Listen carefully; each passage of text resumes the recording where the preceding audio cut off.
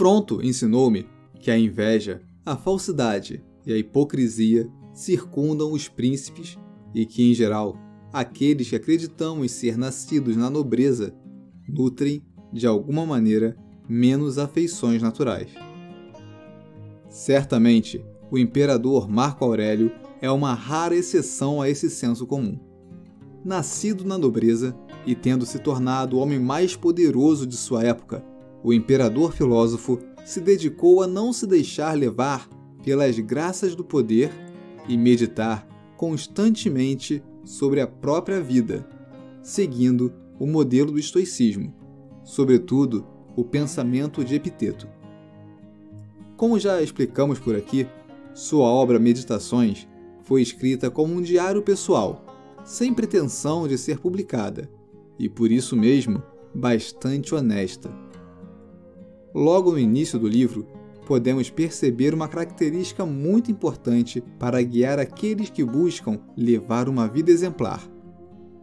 E não foi à toa que Marco Aurélio começou assim seu diário pessoal. Estou falando da humildade de reconhecer que não somos seres inteiramente autossuficientes, mas que precisamos sempre de apoio e exemplos a seguir, e que devemos ser gratos por isso.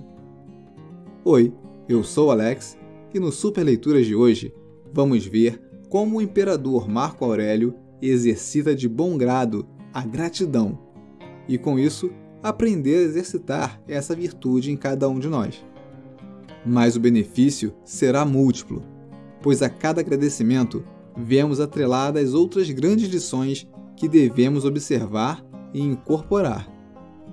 Vamos então aos trechos que selecionei a partir do livro 1 da obra Meditações.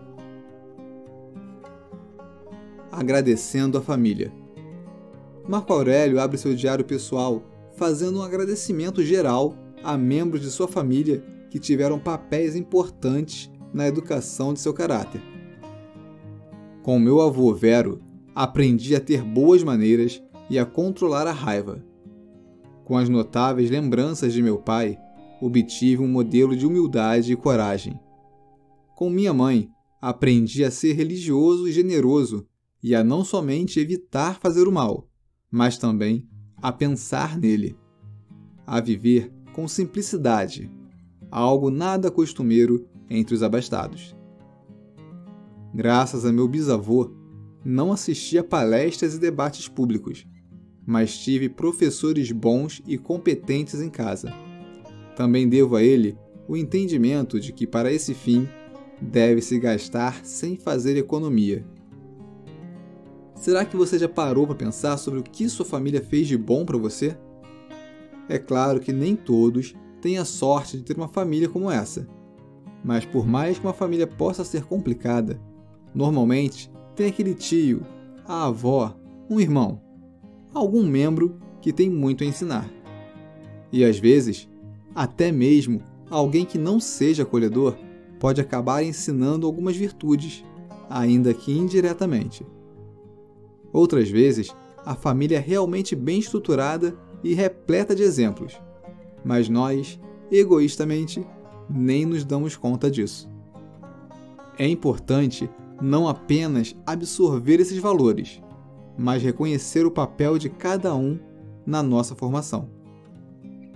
Agora, releia com atenção cada benefício que nosso filósofo estoico aprendeu com seus familiares e pense em quais você precisa melhorar e quais deles você já aprendeu bem.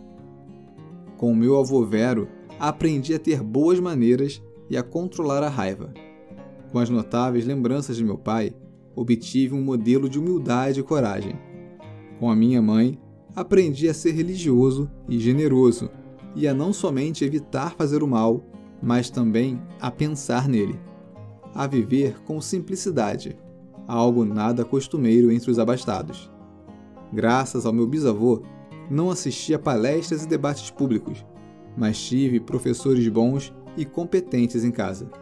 Também devo a ele o entendimento de que, para esse fim, deve-se gastar sem fazer economia.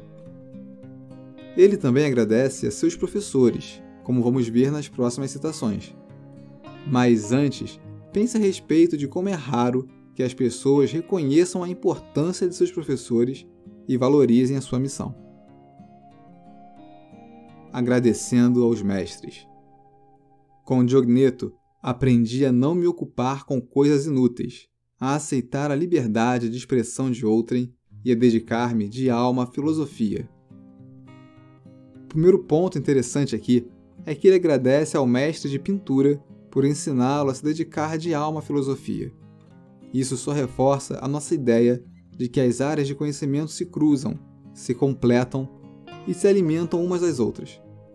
Ele fala também sobre não se ocupar com coisas inúteis, um conselho bastante relevante em qualquer época, com certeza. Mas imagine em um período em que gastamos horas rolando o dedo nos feeds de redes sociais. O outro conselho é igualmente urgente e atual: respeito à liberdade de expressão. Ele agradece também a Quinto Júnior Rústico, que provavelmente foi aluno direto de Epiteto e que foi o responsável por lhe apresentar a filosofia estoica. Acompanhem com atenção esse trecho. Ele é bastante autoexplicativo. A Rústico devo as primeiras percepções de que minha natureza necessitava de reforma e cura, e de que não me deixei levar pela ambição sofista. Com ele, aprendi a apaziguar-me com facilidade, reconciliando-me prontamente com aqueles que me desagradassem ou ofendessem assim que estivessem dispostos a fazer a paz. A ler com atenção, a não me dar por satisfeito com o conhecimento insignificante e superficial, nem a concordar rapidamente com os grandes oradores. Agradeço-lhe por ter me apresentado aos textos de Epiteto, com um exemplar de sua própria biblioteca. Dentre outros grandes professores, cita os conselhos de Máximo ensinaram-me o autocontrole, a clareza de julgamento, a coragem durante as doenças e outros infortúnios.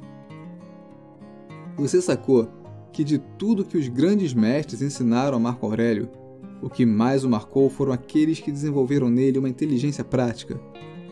Ou seja, um tipo de inteligência que o transforma constantemente em uma pessoa cada vez melhor e que tem efeitos na vida cotidiana.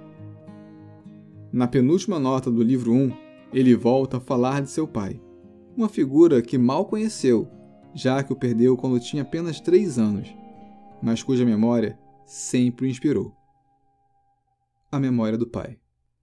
De meu pai, recebi a gentileza e a constância inabalável nos julgamentos feitos após ponderação. Ele ensinou-me a prestar atenção a qualquer homem que oferecesse qualquer coisa voltada para o bem comum. Notei seu zelo para com os amigos, sua restrição a qualquer aplauso popular ou lisonja para si. Não era nem adorador supersticioso dos deuses, nem um adulador ambicioso dos homens. Interessante notar que Marco Aurélio consegue perceber as características virtuosas dos traços de caráter com os quais deve aprender. E ele reconhece ainda que, apesar de todos os exemplos e ensinamentos, cabe a ele escolher colocá-los em prática. Responsabilização. Tive oportunidade, com frequência e eficácia, de meditar e indagar sobre o que realmente é a vida de acordo com a natureza, e até onde os deuses foram capazes de oferecer sugestões, ajuda ou inspiração, não há nada que me impeça de já tê-la realizado.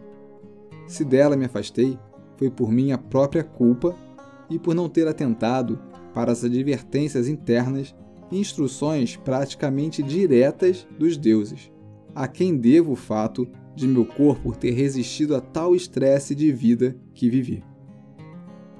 Resumindo, depois de tudo, ele agradece as oportunidades e se responsabiliza pelo que vier. Se você quiser aprender com mestres desse nível, a extrair o que existe de melhor do conhecimento da humanidade e transformar em inteligência prática, você precisa conhecer a Escola dos Pensadores.